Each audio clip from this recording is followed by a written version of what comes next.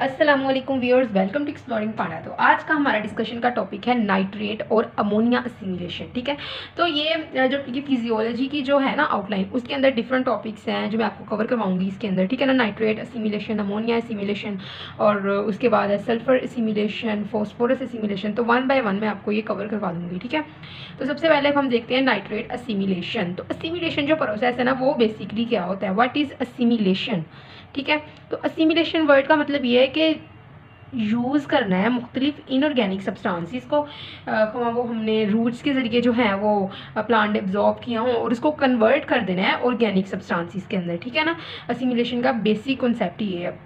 तो one by one अब हम स्टडी करते हैं तो सबसे तो नाइट्रेट असिमिलेशन का मतलब क्या है कि तमाम प्लांट्स को नाइट्रोजन की ज़रूरत होती है। All plants require nitrogen because it has a role to play in general metabolism तो नाइट्रोजन की ज़रूरत होती है क्योंकि नाइट्रोजन का एक बहुत बेसिक रोल है किसके अंदर? जनरल मेटाबॉलिज्म के अंदर। ठीक है? तो जिस तरह के नाइट्रोजन जो है वो अमाइनो एसिड्स के अंदर पाई जाती है अमाइनो एसिड्स आगे आगे प्रोटीन बनाते हैं उसके अलावा नाइट्रोजन जो है वो नाइट्रोजीनियस बेसिस जिसको हम कहते हैं एडिनिन थायामीन गवानीन साइटोजिन ठीक है ना? इन सब के अंदर जो है वो नाइट्रोजन पाई जाती है। तो प्लांट्स जो कि खुद नाइट्रोजन को फिक्स नहीं कर सकते, दूसरे कंबाइंड सोर्सेज इस्तेमाल करते हैं नाइट्रोजन की प्लांट्स अब बजाते खुद नाइट्रोजन को फिक्स नहीं कर सकते हैं दे कांट फिक्स नाइट्रोजन। तो क्या होता है कि नाइट्रोजन जो प्लांट्स क्या करते हैं, वो कंबाइंड नाइट्रोजन सोर्सेज का इस्तेमाल करते हैं। जिसको हम कहते हैं, ये कंबाइंड नाइट्रोजन सोर्सेज है नाइट्रेट और अमोनिया ठीक है ना? अपनी मेटाबॉलिक एक्टिविटीज़ को परफॉर्म करवाने के लिए। तो नाइट्रेट जो होता है, वो किस तरह बनता है? जो कि प्लांट की ना रूट जो रूट्स वाले हिस्से होते हैं, जिस तरह के हम कह सकते हैं सॉइल के अंदर सर्टेन बैक्टीरिया पाए जाते हैं, जिसको हम कहते हैं कि ये नाइट्रीफाइंग बैक्टीरिया है।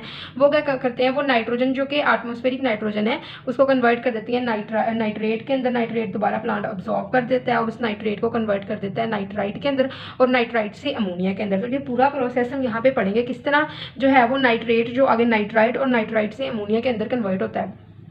तो सबसे पहले क्या होता है, नाइट्रेट की असीमिलेशन होनी है, ठीक है ना? जो नाइट्रेट उस बैक्टीरिया ने बनाया है और नाइट्रोजन को तोड़ के नाइट्रेट्स बनाए हैं, उनकी असीमिलेशन होनी है। तो वो असीमिलेशन जो होती है, वो दो तरह की होती है। Is of two types these nitrate assimilation is of two types तो first is nitrate reduction and दूसरा है नाइट्रेट नाइट्राइट रिडक्शन सॉरी एक है नाइट्रेट रिडक्शन एक है नाइट्राइट रिडक्शन जो नाइट्रेट रिडक्शन है ना, उसके अंदर क्या होता है कि नाइट्रेट जो होता है ना, ये कन्वर्ट हो जाता है नाइट्राइट के अंदर।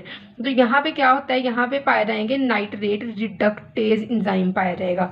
नाइट्रेट को नाइट्राइट के अंदर कन्वर्ट क्या करता है? ये वाला इंजाइम जो यहाँ पे मैंने लिखा हुआ है, ठीक है ना? नाइट्रेट रिडक्टेज इंजाइम ठीक है? तो ये नाइट्रेट रिडक्टेज इंजाइम क्या है? ये एक मोलिब्डिनम कंटेनिंग फ्लेवो प्रोटीन है, ठीक है? तो एक मोलिब्डिनम कंटेनिंग फ्लेवो प्रोटीन होती है ये। उसके बाद क्या होता है कि जो अब यहाँ पे नाइट्राइट बन चुका है, अब इस नाइट्राइट को कन्वर्ट करना है किसके अंदर? नाइट्राइट को कन्वर्ट करना है अमोनिया के अंदर, ठीक है? इस नाइट्राइट को कन्वर्ट करना है अमोनिया के अंदर। तो यहाँ पे जो इंजाइम इस्तेमाल होता है नाइट्राइट को कन्वर्ट करने के लिए अमोनिया के अंदर वो होता है नाइट्राइट रिडक्टेज तो ये एक आयरन कॉपर कंटेनिंग प्रोटीन होता है ये इंजाइम ठीक है ना? Iron copper containing protein enzyme nitrite reductase होगा। और ये विदाउट एनी ये किसी भी मोलिब्डिनम के बगैर होता है विदाउट एनी मोलिब्डिनम। क्लियर तो उसके बाद हम देखते हैं कि सिंथेसिस ऑफ़ अमोनिया किस तरह होती है।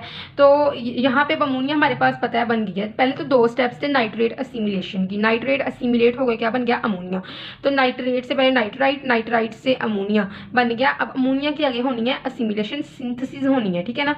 तो इस अमोनिया के ज़रिए यूजिंग दिस अमोनिया ठीक है ना? तो क्या यहाँ पे ना अमोनिया नहीं था ना सिंथेसिस ऑफ़ अमोनिया नहीं सिंथेसिस ऑफ़ अमाइनो एसिड्स आएगा। बाय मिस्टेक मैंने लिख दिया है तो आप इसको करेक्ट कर लीजिएगा।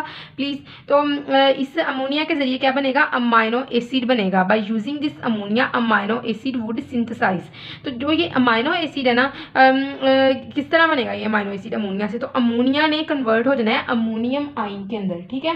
तो उसके बाद अमोनियम आइन जो होगा, वो क्या करेगा? तो अमोनियम आइन रिएक्ट कर जाएगा किसके साथ? अल्फ़ा कीटोग्लूटरेट के साथ और N A D P H यहाँ पे यूज़ होगा, जो कि इस्तेमाल होगा हाइड्रोजन प्रोवाइडर के तौर पर, ठीक है? तो यहाँ पे क्या होगा कि अमोनिया अमोनिया सॉरी यहाँ पे यह क्या है? अमोनिया अमोनिया के किसके अंदर चेंज हो गया? अमोनियम आइन के अंदर, ठीक है? तो अमोनियम आइन से फिर क्या हुआ? अल्फ़ा कीटोग्लूट्रेट का रिएक्शन हुआ है। अब अल्फ़ा कीटोग्लूट्रेट का रिएक्शन होकर एक एन ए का जो एच है, इसने क्या किया? इसने हाइड्रोजन दी है। और ये आगे रिएक्शन किसमें प्रोसीड हो गया? है जिस तरह फैरो है ये रिएक्टेंट है सारे। ये जो है वो एक मार्क है, ठीक है ना? हमें पता है ये है रिवर्सिबल रिएक्शन का मार्क है और ये जो है, ये प्रोडक्ट्स हैं। तो प्रोडक्ट्स में क्या बना? Glutamic acid which is a amino acid बड़े कोई तहमुल से, बड़े कोई पेशेंस से आपने ये इस चीज़ को समझना है, ठीक है ना? पैनिक नहीं होना है कि पता नहीं कौन सा इतना मुश्किल ये बता रही हैं। ऐसे नहीं करना बार बार सुने और इसको ज़रा स्लो करके ना मतलब अगर आपको नहीं समझ लग रही, मैं थोड़ा तेज़ बोल रही हूँ तो आप इसको थोड़ा सा स्लो करके सुन लें, ठीक है ना? जो यूट्यूब में ऑप्शन होता है। तो एनएडीपी जो है, ये जो हाइड्रोजन प्रोवाइड कर दिया, ये एनएडीपी पीछे बच गया, ठीक है? यहाँ पे एनएडीपी और एक वाटर का मोलिक्यूल निकल गया। तो आई होप सो कि आपको इसकी समझ लग गई होगी। क्या हुआ? सिंसिस हुई अमोनिया की अमोनिया ने चेंज होना है अमोनियम आइन के अंदर अमोनियम आइन जो है, ये वाला।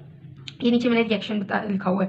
यहीं से आपने समझना है। अमोनियम आइन के अंदर अमोनियम आइन रिएक्ट किया अल्फ़ा कीटोग्लूटरेट के अंदर। अल्फ़ा कीटोग्लूटरेट और अमोनियम आइन रिएक्ट कर रहे हैं और यहाँ पे एनएडीपीएच ने हाइड्रोजन प्रोवाइड करना है। ग्लूटामिक एसिड एन पॉजिटिव और वाटर के अंदर चेंज होना है। तो glutamic acid is an example of an amino acid ठीक है? तो आई होप सो कि आपको समझ लग होगी, ठीक है ना?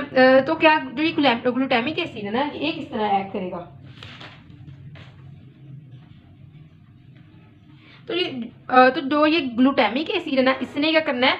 इसने ट्रांस अमाइनेशन ट्रांस अमाइनेशन के प्रोसेस के ज़रिए मजीद अमाइनो एसिड्स बनाने हैं, ठीक है ना? जो अमाइनो एसिड्स ने क्या करना है? अमाइनो एसिड्स ने मिलना है ज्वाइन होना है और प्रोटीन बना देनी है। ये तो हमने एक जनरल कॉन्सेप्ट पहले भी अपने बिल्ड किए हुए हैं।